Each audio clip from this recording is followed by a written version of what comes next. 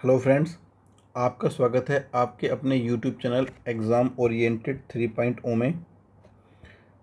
अगर आपने अभी तक एग्ज़ाम ओरिएंटेड 3.0 को सब्सक्राइब नहीं किया, जल्दी जल्दी सब्सक्राइब कर लीजिए, वीडियो को लाइक कीजिएगा और वीडियो को शेयर कर दीजिए, ठीक है? और कुछ को प्रॉब्लम ये रहती है कि एग्ज़ाम ओरिएंटेड की स्पेलिंग क्या है तो यहाँ पर देख लीजिए, ये है exam O R I E N T E D oriented three point O ठीक है?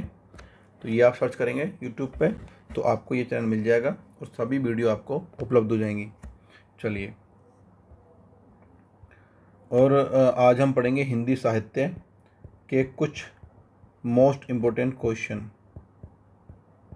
ठीक है? हिंदी साहित्य के आज हम क्वेश्चन करने वाले हैं। तो पहला क्वेश्चन है, किस युग को आधुनिक हिंदी कविता का सिंह द्वार कहा जाता है। तो इसका राइट आंसर है भारतेंदु युग को। नेक्स्ट क्वेश्चन है, द्विवेदी युग के प्रवर्तक कौन थे? तो ये थे महा, महावीर प्रसाद द्विवेदी। नेक्स्ट क्वेश्चन है, हिंदी का पहला सामाजिक उपन्यास कौन सा माना जाता है? तो ये माना जाता है भाग्यवती। नेक्स्ट क्वेश्चन है, सन 1950 से पहले हिंदी कविता किस कविता के रूप में जानी जाती थी? तो इसे जानते थे प्रयोगवादी के नाम से।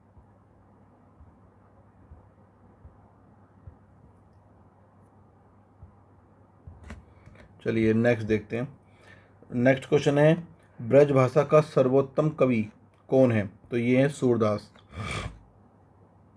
नेक्स्ट क्वेश्चन है, आदिकाल के बाद हिंदी में किस साहित्य का उदय हुआ? तो ये हुआ था भक्ति साहित्य का। निर्गुण भक्ति काव्य के प्रमुख कवि कौन हैं? तो वो हैं कबीर दास जी। किस काल को स्वर्ण काल कहा जाता है? तो भक्ति काल को स्वर्ण काल कहा जाता है। चलिए नेक्स्ट देखते हैं। हिंदी का आदि कवि किसे माना जाता है? स्वयंभू को हिंदी का आदि कवि मानते हैं। आधुनिक काल का समय कब से कब तक माना गया है? तो ये माना गया है 1900 से अब तक का। जयशंकर प्रसाद की सर्वश्रेष्ठ रचना कौन सी है? तो इनकी है कामायनी। बिहारी ने क्या लिखा है? तो इन्होंने दो ही लिखे हैं। नेक्स्ट देखते हैं। कबीर किसके शिष्य थे? तो ये थे रामानंद जी के। पद्यावत महाकाव्य कौन सी भाषा में लिखा है? तो ये लिखा है अवधि में। चप्पू किसे कहा जाता है? गद्य और पद्य मिश्रित रचनाओं को चप्पू कहा जाता है। नेक्स्ट क्वेश्चन है, कलाधर उपनाम से कविता कौन से कवि लिखते थे? तो ये लिखते थे जयशंकर प्रसाद जी। चलिए, आगे देखते हैं। रसनिधि किस कवि का उपनाम है? तो इनका उपनाम किसका है? तो ये है पृथ्वी सिंह का। प्रेमचंद्र के अधूरे उपन्यास का नाम मंगलसूत्र। हिंदी का सर्वाधिक नाटककार कौन है? तो वो हैं जयशंकर प्रसाद जी। तुलसीकृत रामचरित मानस में कौन सी भाषा का प्रयोग किया गया है? तो ये किया गया है अवधि भाषा का प्रयोग।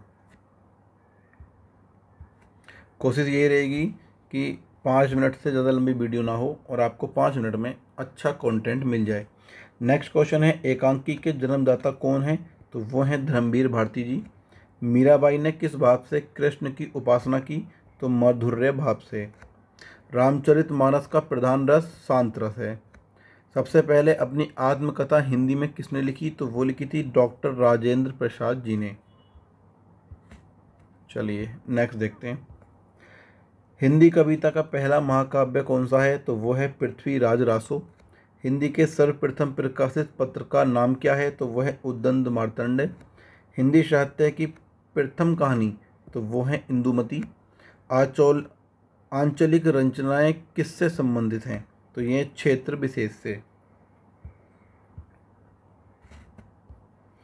नेक्स्ट है पृथ्वीराज रासो किस काल की रचना है? तो वो है आदिकाल की।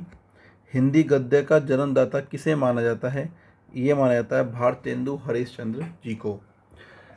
तो ये कुछ टॉप थर्टी क्वेश्चन थे हिंदी साहित्य के।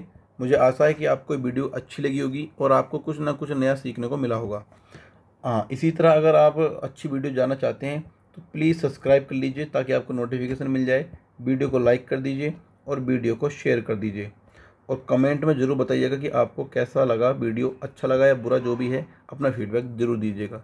मिलते हैं नेक्स्ट वीडियो में. Thank you